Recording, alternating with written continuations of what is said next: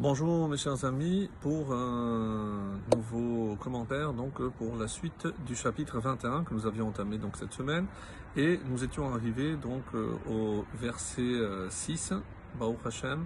Et on va voir aujourd'hui que euh, dans la vie des fois on peut imaginer faire ce qui nous semble, ce, qui, ce que bon nous semble, mais en sachant que tôt ou tard, on devra rendre des comptes, un petit peu comme il est rapporté dans Pirkei Avot, que ce monde ressemble un petit peu comme un grand supermarché. On peut tout prendre, on a l'impression que tout on peut tout prendre et remplir notre caddie, oui, mais on doit payer évidemment la note avant de quitter ce magasin. Donc, donc ce monde un petit peu à, cette image-là, donc on ne peut pas faire ce que bon nous semble et espérer ne pas rendre des comptes. Et voici comment nous le dira le roi Salomon.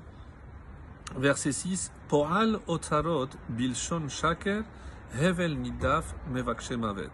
Donc, Poal Otarot, travailler à acquérir Otarot des trésors Bilshon Shaker, avec une langue trompeuse, mensongère, de Sheker.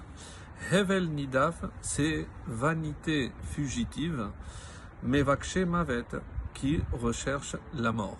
Alors, il y va peut-être un peu fort. Comment imaginer qu'on peut euh, acquérir les trésors Eh bien, parce que des fois, dans la vie, pour certains, le plus important, c'est euh, acquérir des biens, accumuler des biens, et peu importe les moyens utilisés. Donc, la fin justifie à leurs yeux les moyens donc des moyens détournés, évidemment euh, malhonnêtes, mais l'essentiel c'est de remplir les poches, remplir les comptes en banque, comme si c'était évidemment l'essentiel dans ce monde, c'est acquérir des, euh, des, des, trésors.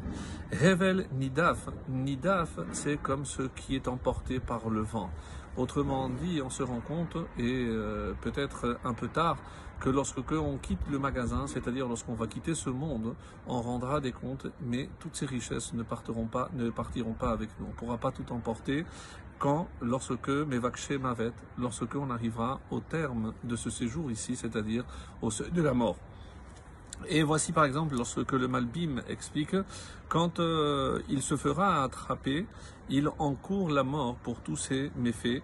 Autrement dit, euh, rendre des comptes, la, justice est là et il devra aussi répondre devant cette justice pour tout ce qu'il a accompli comme méfait durant sa vie. Et malheureusement, euh, quelqu'un qui est capable de, de, tout faire pour atteindre ses fins, eh ben, peut-être qu'il a fait plus que voler, plus que tromper avec la langue, mais mentir sur euh, même un crime. Tout cas, il sera attrapé et il va encourir la peine de mort. Nidav, comme on l'a dit, c'est de emporter comme le vent. C'est quelque chose de d'évanescent, comme Hevel. Donc c'est une vanité, elle ne restera pas. Donc c'est une illusion de se dire que tous ces efforts, on les a voués finalement à des moulins à vent. Enfin, le, verset euh, le verset 7. Shod Reshaim Yegorem. Un petit peu dans la suite, on va voir.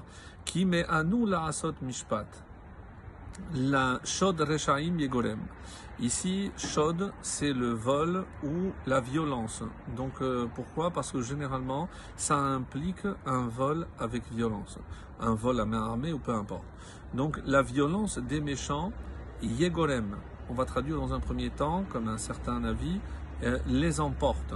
Qui met à nous la asot mishpat, car il refuse de pratiquer l'équité, la justice. Alors le Radak nous dit qui, euh, qu'est-ce que ça veut dire les emporte? Eh ben, il les entraînera de Gorem, donc les entraîner à leur perte, même si le texte ne l'indique pas. Mais où est-ce que, évidemment, ça peut amener quelqu'un le fait de euh, faire, comme on l'a vu tout à l'heure, pour acquérir ces, ces trésors, eh ben, il ne va pas hésiter à utiliser la violence, en tout cas le vol, la rapine, et c'est ce qu'il dit les entraînera, entraînera à leur perte. Ou euh, Yegorem, d'après un autre avis, euh, d'après toujours le, le Radak, une autre explication, c'est les brisera. Parce qu'à force de s'épuiser pour atteindre ses objectifs, donc il sera brisé et il n'aura, il n'aura plus la possibilité de profiter de tout ce qu'il a accumulé. Le ride, par exemple, ou le Metsudot David nous dit que ici, Shodreshaim Yegorem, donc les effrayera. Pourquoi? Parce qu'ils vont finalement vivre toute leur vie de peur de se faire attraper. Donc quelle tristesse de se dire que euh, on va vouer toute notre énergie à obtenir nos fins par des moyens détournés, malhonnêtes, et euh, vivre toujours dans l'angoisse de se faire attraper. C'est comme ça que le ride explique que finalement, ce n'est pas une vie, et c'est pour ça que ça, ça rejoint ce que nous disions plus haut, Hevel Nidaf Mavet. Donc finalement, euh, c'est tout ce qu'ils ont trouvé, tout ce qu'ils auront accumulé, c'est cette peur de la mort, cette peur de se faire attraper et ne pas profiter pleinement de tout ce que Hachem a mis à notre disposition, mais bien évidemment d'une moyenne avec des moyens honnêtes.